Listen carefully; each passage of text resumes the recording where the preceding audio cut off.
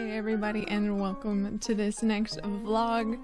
I hope you guys liked the last one. It seems like a lot of people watched it. Thank you for checking out and thank you for all the messages and just kind words. Thank you everyone so much.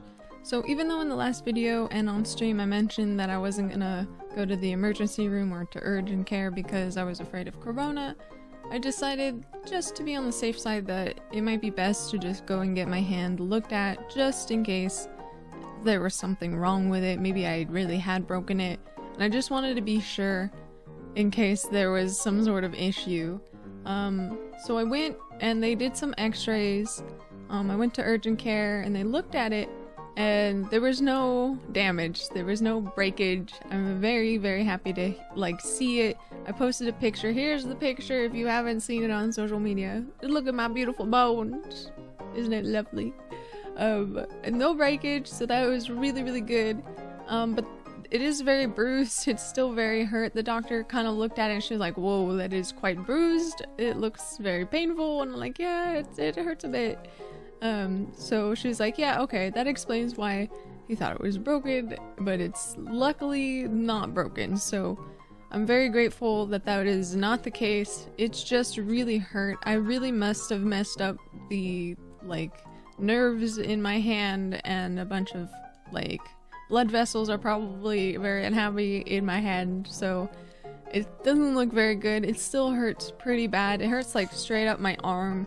Um, so that's why I was really concerned that it was uh, maybe broken because the the following day after I had hurt my arm or my wrist it it, it the whole arm was hurting. So I thought maybe maybe it was just a lot of like damage right everything's fine. They gave me this uh, brace to wear, so that's really good. I have to ice my hand. Um, it does help a little bit because it is a bit swollen. That was another thing I was really concerned about because, um, you know, when you have a breakage or anything that like is broken or it hurt, it's gonna get inflamed.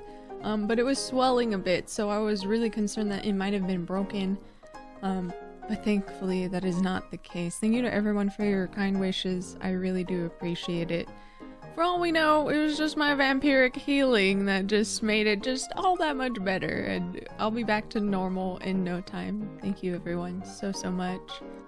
So, when this video comes out, it will be Christmas Eve, and I hope you guys have a wonderful Christmas Eve if you celebrate. If you do not celebrate, well, I hope you have a great day regardless. I really do appreciate you hanging out and supporting the channel and taking a look at this video, and leaving it a like, maybe subscribing if you are interested in more videos like this.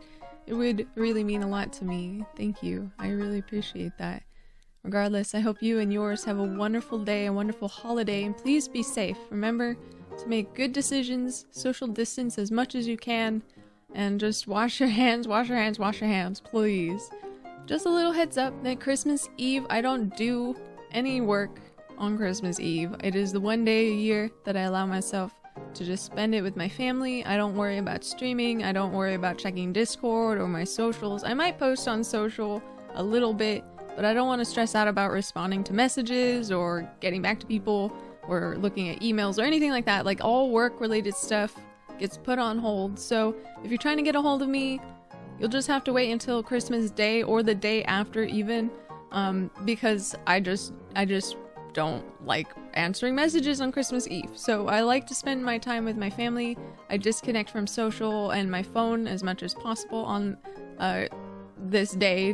When you guys see it, it'll be Christmas Eve. Right now, I'm recording it yesterday. the time.